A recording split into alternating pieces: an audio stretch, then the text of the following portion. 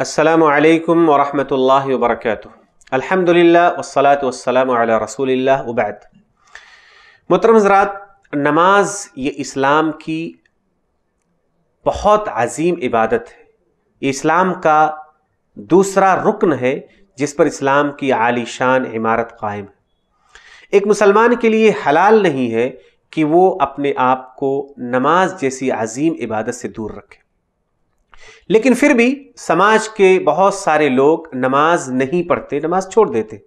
मैं नमाज़ के ताल्लुक से आपके सामने पाँच बातें रखता हूँ, जिससे आपको नमाज़ की अहमियत का और उसकी अजमत शान का अंदाज़ा होगा। सबसे पहली बात यह कि अल्लाह रब्बुल आलमीन ने जितनी भी चीज़ें फ़र्ज़ करार दी हैं, वो तमाम की तमाम इबादतें जिब्राइल अमी के ज़रिया अल्लाह रब्बुल आलमीन ने फ़र्ज़ करार दिया है।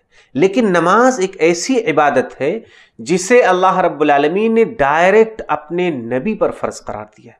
जब आप महराज के मौके पर अल्लाह रब्बुल आलमीन से मुलाकात के लिए गए थे, तब उस मुलाकात में अल्लाह रब्बुल आलमीन ने खुद नबी सल्लल्लाहु अलैहि पर यह नमाजें फ़र्ज़ करार दी हैं। इससे आप अंदाज़ा लगा सकते हैं कि नमाज़ की किस कदर अहमियत और अजमत है।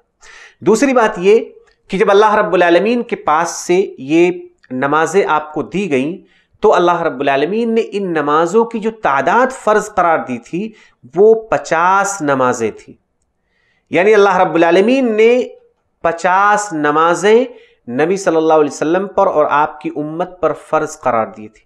लेकिन नबी सल्लल्लाहु अलैहि वसल्लम ने बार बार अल्लाह रब्बुल से सिफारिश की और आपने कम करने की गुजारिश की तो अल्लाह रब्बुल ने उन पचास नमाजों को पाँच नमाजों में तब्दील कर दिया और फरमाया कि ये नमाजें अदायगी के एतबार से पाँच होंगी, लेकिन सवाब और अजर के एतबार से ये पाँच पचास के बराबर है।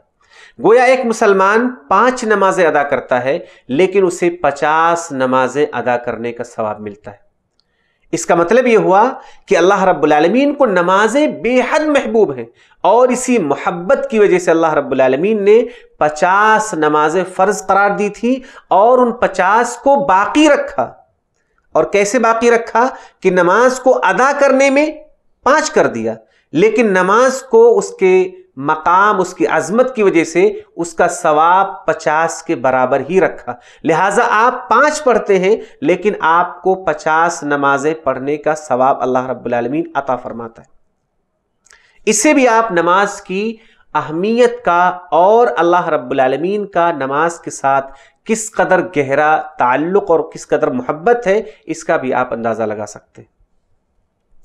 इसी तरह से तीसरी बात कि अल्लाह रब्बुल आलमीन ने नमाजों के फ़र्ज़ करने के लिए जिस मकाम का इंतखब फरमाया, वो सातवां आसमान है। यानी एक इंसानी तौर पर सबसे अजीम तरीन जो बुलंदी हो सकती है, जहाँ पर नबी सल्लल्लाहु अलैहि वसल्लम पहुँचे, वो सातवां आसमान है। अल्लाह रब्बुल आलमीन से करीब तरीन जगह।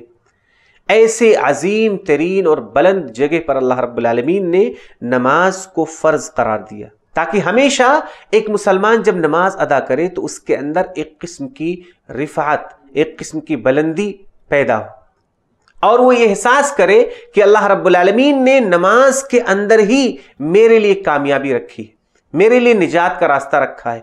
और मैं ये जो सर झुकाता हूँ अल्लाह रब्बुल आलमीन के सामने, दरअसल मेरी इज़्ज़त, मेरी अजमत, मेरा सब कुछ इसी नमाज़ के अंदर मौजूद है। तो तीसरी बात यह कि अल्लाह रब्बुल आलमीन ने सबसे बुलंद मकाम पर नमाज़ को फ़र्ज़ करार दिया और वो है सातवां आसमान, जहाँ पर महराज में अल्लाह के नबी सल्लल्लाहु अलैहि वसल्लम गए थे तो वहाँ अल्लाह रब्बुल आलमीन ने पाँच नमाजें फ़र्ज़ करार दी थी। चौथी बात कि ये नमाजें अल्लाह रब्बुल आलमीन ने बतौर तोहफ़ा के अपने नबी को अता फरमाई थी। महराज में आप गए, आपने बहुत कुछ देखा वहाँ पर। अल्लाह रब्बुल आलमीन ने नबी अलैहि वसल्लम को तीन चीज़ें बतौर तोहफा क्या था फरमाई। एक अजीम तरीन तोहफा, जिसे महराज की रात अल्लाह के नबी सल्लल्लाहु अलैहि वसल्लम को दिया गया, वो यही पाँच नमाजें हैं, जो अदायगी में पाँच हैं, लेकिन दरअसल सवाब में पचास नमाजें तो महराज की रात, जो अल्लाह रब्बुल आलमीन ने आपकी इज़्ज़त और तकरीम के लिए ये मकाम आपको अता फरमाया था, उस अजीम तरीन रात में अल्लाह रब्बुल आलमीन ने आपको तीन तोहफे दिए। उन तीन तोहफों में से एक तोहफा पाँच नमाजें फ़र्ज़ करार दी गई थी। आखिरी बात जिससे हम नमाज़ की अहमियत का अंदाज़ा लगा सकते हैं कि नमाज़ ये दर हकीकत अल्लाह और बंदे के दरमियान राजदाराना गुफ्तगु का एक तरीक़ा है। अल्लाह रब्बुल ने मूसा सलाम से कलाम फरमाए उनके लिए शर्फ की बात है। अल्लाह रब्बुल ने जनाब मोहम्मद रसोल्ला अलैहि वसल्लम के साथ गुफ्तु फरमाया, ये उनके लिए बहुत बड़ा शर्फ है। एक मुसलमान को अल्लाह रब्बुल आलमीन यही शर्फ अता फरमाता है और ये शर्फ उसे उस वक्त मिलता है जब वो नमाज़ अदा करता है। क्योंकि नमाज़ अदा करने वाला दरअसल अपने रब से गुफ्तगु करता है, अपने रब से बात करता है। जब वो सूर्य फातिहा पढ़ता है तो आयात के साथ साथ अल्लाह रब्बुल आलमीन उसे जवाब देता है। जब वो नमाज़ पढ़ता है तो दरअसल वो अपने रब से गुफ्तगु कर रहा होता है। अपने रब को खिताब फरमा रहा होता है। हदीस में कहा गया है कि जब तुम में से कोई भी शख्स नमाज़ पढ़ता है तो वो अपने रब से सरगोशी करता है। अपने रब से रास की बातें करता है। अपने रब से गुफ्तगु फरमाता है। और ये शर्फ, ये इज़्ज़त एक मुसलमान को उस वक्त मिलती है, जब वो नमाज़ अदा करता है। इससे भी आप नमाज़ की अहमियत का अंदाज़ा लगा सकते हैं। लिहाजा हम सबको चाहिए कि हम खास कर अपनी ज़िंदगी को नमाज़ों से जोड़ कर रखें। नमाज़ों से जुड़ना कामयाबी की पहचान है।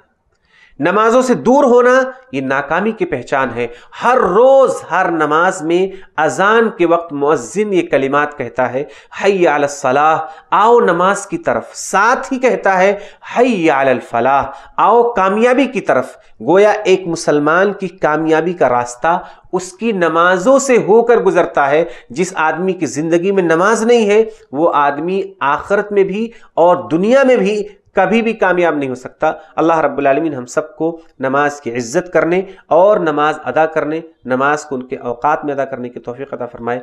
आमीन। अल्लाम वरहमल वर्का